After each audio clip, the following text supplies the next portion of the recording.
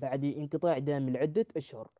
تعود شبكة المياه إلى الخدمة في مدينة حديبو عاصمة محافظة سقطرى تشكل تهالك الشبكة عائقا أمام المواطنين بالحصول على مياه صالحة للشرب حيث توقفت خدمة المياه في الأحياء السكنية ما دفع السكان إلى شرائها من المحطات بمبالغ مرتفعة.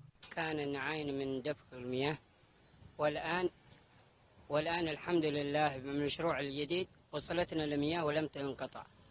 كنا نشتري آه، زفات آه، المياه إلى البيوت.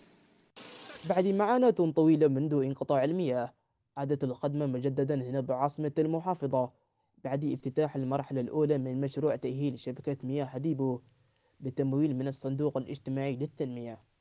مؤسسة المياه والصرف الصحي بسقطرى عملت على تحسين الخدمة من خلال صيانة جزء من الشبكة واستبدال ما تبقى بأخرى جديدة.